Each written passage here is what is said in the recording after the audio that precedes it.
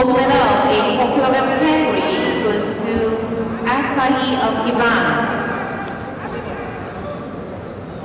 계속해서 74kg급 그리고 84kg급 시상식을 갖도록 하겠습니다. 74kg급 시상에는 AAW